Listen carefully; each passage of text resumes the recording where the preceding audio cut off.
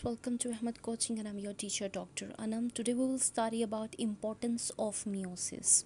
First importance of meiosis is that crossing over and random assortment of chromosomes they are going to lead the new combinations in the next generation.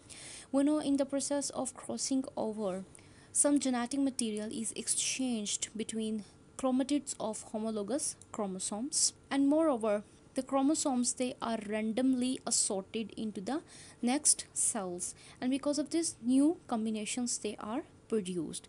If there is no crossing over process then the next generation will have the same properties as the parent cells.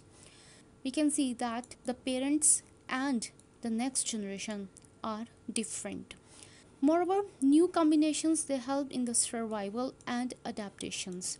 If some properties through recombination have been transferred to the next generation and allowing that generation to survive in a particular change or in a particular environment then that new combination is going to help in the survival and adaptation to that particular environment Meiosis is a reduction division and because of the reduction division it maintains the chromosome number in the next generation and the number of chromosome is restored through fertilization.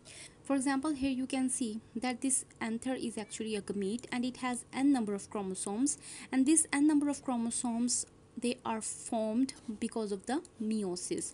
And then here we have this ovary and in the ovary we have the egg here. This egg is also n number of chromosome and when the anther and egg they are going to fertilize. We are going to have two n number of chromosome restored into our new plant. The meiosis is involved in the gamete formation.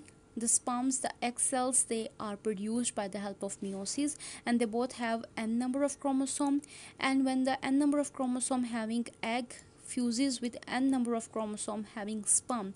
Then in the next generation two n number of chromosomes they are restored. And this happens because of the sexual reproduction any malfunctioning in meiosis it is going to lead to the genetic disorders in which the number of chromosome they may increase they may decrease some kind of deletion it can happen.